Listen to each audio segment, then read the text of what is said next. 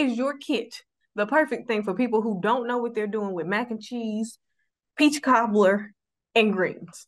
But honestly, because we all grew up in those families with those great, great cooks. And when we ask them, mama, grandmama, auntie, how you do this? Well, baby, I ain't got no recipe. I do a little bit of this and a little bit of that.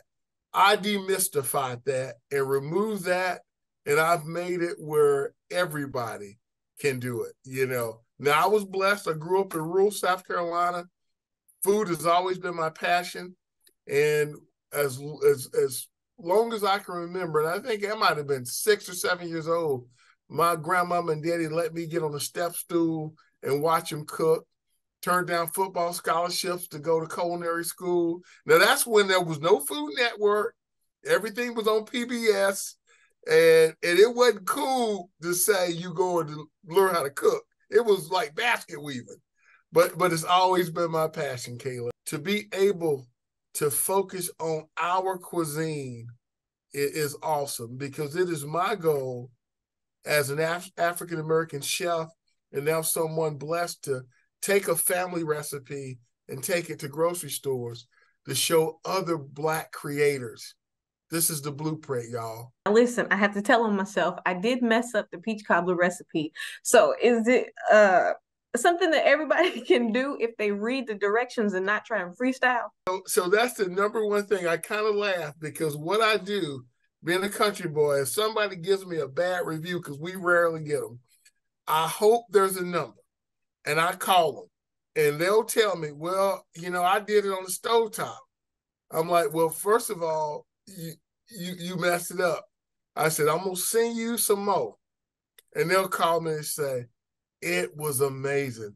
That's the problem. We, we, we and I ain't beating us up, but if you follow the rules, because here's the thing, we are soul food starters. So meaning you can't fake soul food. All I've done is I've cut out a lot of steps. The macaroni and cheese seasoning mix, it's got milk, eggs, all the seasoning. And all you do is add the water make your custard, and that's the culinary word for the milk, eggs, and all that. You know, that's the fancy word. It's a custard.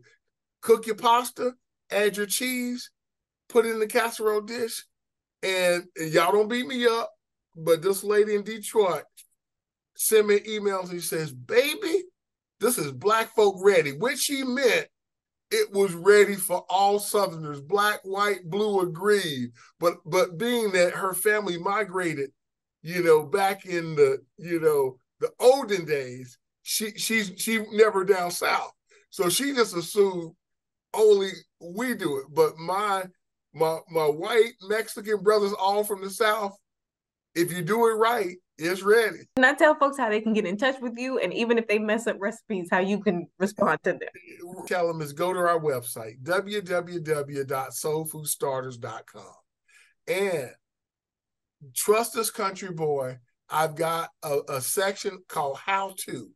I walk you through every recipe. I mean, if you don't like to read, don't read. Just watch this country boy and it'll get you through. Because we we make listen, I've got people who just got married tell me that that that I've made their husbands happy, right? because we we've done it. So www.soulfoodstarters.com. And, and, and if y'all praying folk like me, send out a blessing because we actually uh, will find out in in a little more than 45 days if we will be going in $20,000 generals. How powerful that. And, and, and, if my recollection's right, we may be the first African American food brand nationwide in dollars.